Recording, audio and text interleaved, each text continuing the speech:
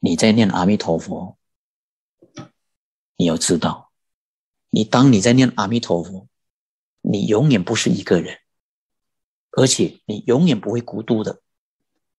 为什么呢？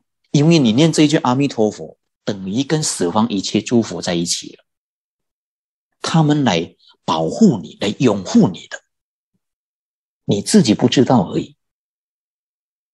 所以《弥陀经》里面呢，释迦牟尼佛告诉舍利佛：“舍利佛，西方极乐世界有很多声闻弟子，无法去算数出来的。这一些弟子都是跟我们在一起的。”哦，那我们来看看这段经文内容是什么意思呢？我们啊，等下个星期再跟大家来分享。最。尊敬的诸位同学大德，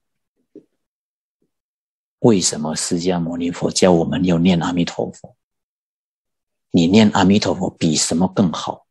没有比这个更好了。特别在这个环境，你看，我们这个环境是无常的，生死随时都会到。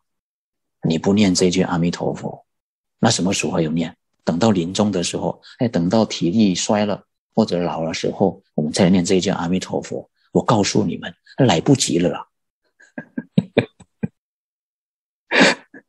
哦，时时刻刻，无论你在哪里，处事待人，行住坐卧，无论你在做什么样的工作，无论做什么样的事业，只要有空出来，时间有了，哪怕是五分钟，你要赶快把这句阿弥陀佛念出来。因为你念这一句阿弥陀佛，等于跟十方一切诸佛如来在一起了，哪来不得到保护的呢？哪来不得到利益的呢？